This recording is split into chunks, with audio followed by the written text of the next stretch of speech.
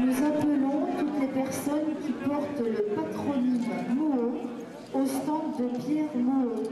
Donc s'il vous plaît, si vous appelez Mouot, merci de vous rendre au stand de Pierre Mouot pour une photographie de tous les Mouots qui se trouvent réunis autour d'Henri Mouot. Merci beaucoup.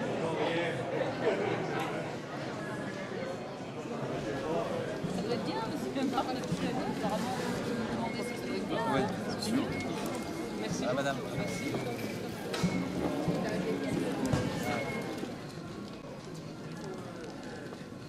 Euh, le timbre, euh, on m'a proposé de le faire déjà il y a à peu près un an de ça et bon, j'ai accepté. J'ai vu que c'était un, explorateur franc-comtois donc euh, bah, tout de suite je me suis dit allez, je me suis documenté à la fois sur ses écrits, ses notes et puis aussi son iconographie, tout ce qui avait été fait sur lui, gravures, euh, les dessins, etc., ses voyages. Et donc voilà, je me suis servi de ça pour faire le timbre avec euh, une vue d'encore derrière- en retrait, juste en retrait. S'il vous plaît. Et puis donc, euh, ouais, c'était c'était, euh, à la fois intéressant de se plonger dans ses mémoires, dans son travail, et de pouvoir le dessiner, c'est euh, une fierté quand même parce que Merci. Hein.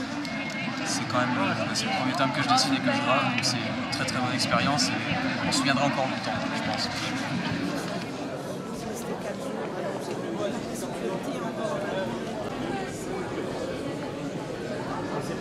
Monsieur le maire, Madame l'adjointe, chargée de la culture et du patrimoine, Monsieur le sénateur honoraire, chers amis de l'Utilisbourg, Mesdames, Messieurs,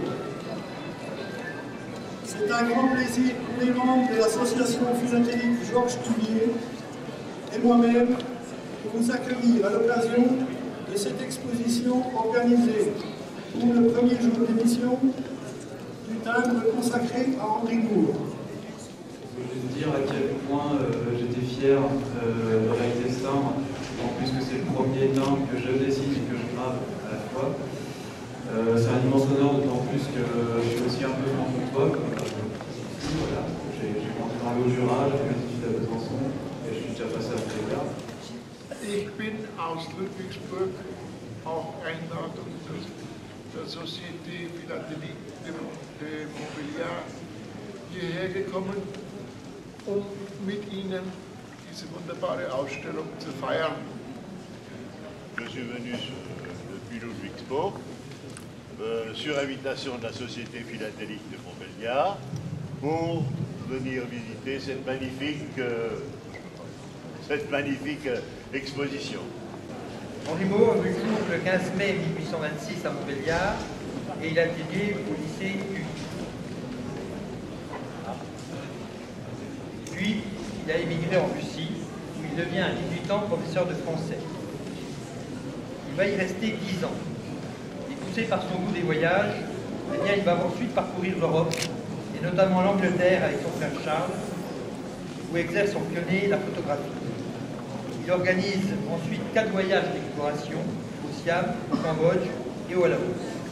Ses observations sont consignées dans les carnets, portent aussi bien sur les animaux, et en particulier sur les insectes, que sur les monuments ou les mœurs des peuples qu'il rencontre. Mais, intrépide, il finira par découvrir en 1860 la cité abandonnée d'Angkor, ainsi que de nombreux vestiges de royaumes khmers, avant de décéder au Laos en 1861, emporté par une fièvre tropicale. Si Noah n'est pas le premier à avoir découvert la cité, d'Angkor, ce sont bien ses carnets qui vont le révéler au public et au public européen. Preuve de cet engouement nouveau l'exposition universelle de 1878. Tout au long de ces années, la ville de Montbéliard a rendu hommage à cet enfant du pays grâce à diverses initiatives. La dénuation du prix Henri Bouot, la salle Henri Bouot que vous connaissez, l'abolition d'une plaque commémorative sur sa tombe au Laos, l'organisation d'un espace au musée dédié lors, de l'exposition Le Voyage en 2010 et également dans ce cadre, la ville a financé le voyage du photographe Christian Simon l'année dernière passionné pour Henri et qui est parti sur ses traces en 2010. Vous aurez d'ailleurs l'occasion de découvrir son travail passionnant au cours de cette manifestation. Enfin, nous avons le plaisir de nous associer à l'initiative de l'association philatélique Georges Cuvier, qui a depuis de nombreuses années entrepris des démarches afin que soit édité un timbre à l'effigie d'Henri. C'est désormais chose faite pour le plus grand bonheur des philatélistes et des Montbéliardais, et je tiens publiquement à remercier l'association ainsi que la Poste pour sa présence. Il faut souligner le concours indispensable de nombreuses personnes, sans qui la sortie de ce timbre n'aurait pas été possible. Je pense à René Duchesne, qui a été le premier à émettre cette idée sur l'apparition d'un timbre sur Henri. Bien sûr, M. Nachin, président de l'association philatélique Georges Cuvier, qui s'est, avec son équipe, considérablement investi dans ce projet et a amené à bout l'organisation de ces journées en collaboration avec le service culture patrimoine de la ville. Monsieur Chaud, bien sûr, qui a non seulement accompagné activement ces démarches, mais qui a en outre mené tout un travail de recherche autour d'Henri. Nous avons également le plaisir d'accueillir messieurs Pierre et Henri vous les avez entendus, Henri qui est un confrère de Maté, descendant d'Henri Maud, ainsi que des personnalités qui ont toutes concouru à améliorer les connaissances sur sa vie, à mieux le faire connaître. Et je pense à M. Trombino et à M. Sottermer notamment. Il faut enfin souligner la présence de Pierre Barra, vous l'avez entendu tout à l'heure, jeune artiste, graveur talentueux, qui a dessiné, gravé le timbre et les souvenirs philatéliques proposés ici, et qui a fait le déplacement depuis Périgueux. Euh, il se trouve que je vais partir au Laos euh, mardi, mardi matin. Donc euh, j'ai fait faire toute une série d'enveloppes à mon nom et qui étaient expédiées à Luang Prabang au Laos en poste restante. Donc je vais faire euh, mettre à poser le cachet premier jour sur les enveloppes. Sur les encarts qu'il y a ici, là, que j'ai fait, qui représentent nous juste euh, peu de temps avant sa mort, cette gravure sera en concordance avec le cachet euh, premier jour, euh, qui représente également, donc, qui est tiré de, cette gravure. Et ici, je vais demander au créateur du timbre, Pierre Barra, de, signer sa création.